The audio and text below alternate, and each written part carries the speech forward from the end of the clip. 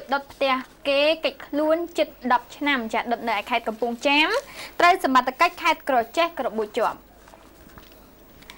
ប្រជាជនសង្ស័យម្នាក់ត្រូវបានសមត្ថកិច្ចខេត្តក្រចេះឃាត់ខ្លួនក្រោយពីកិច្ចខ្លួនអស់រយៈពេលជិត10ឆ្នាំបន្ទាប់ពីធ្វើសកម្មភាពលួចដុតផ្ទះបំផ្លាញទ្រព្យសម្បត្តិអ្នកដទៃដោយចេតនា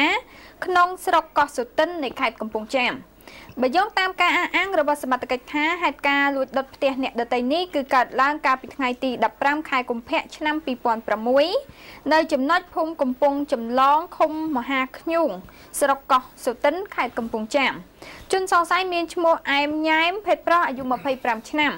សមត្ថកិច្ចបន្ថែមថាក្រោយពីបង្កហេតុជនសង្ស័យបានរត់គេចខ្លួនពីមូលដ្ឋានទៅសំងំលាក់ខ្លួនក្នុងភូមិកោះក្តៅឃុំកំពង់ចាមស្រុកសម្បូរខេត្តក្រចេះ រហូតដល់ថ្ងៃទី14ខែកក្កដាកន្លងទៅនេះកម្លាំងសមត្ថកិច្ចខេត្តទាំងពីរក៏បានសហការកំណត់មុខសញ្ញាឃាត់ខ្លួនបានជនសង្ស័យតែម្ដងបច្ចុប្បន្នជនសង្ស័យត្រូវបានកម្លាំងសមត្ថកិច្ចខេត្តក្រចេះបញ្ជូនមកឲ្យកម្លាំងសមត្ថកិច្ចនៃខេត្តកំពង់ចាមវិញដើម្បីធ្វើការសាកសួរនិងកសាងសំណុំរឿង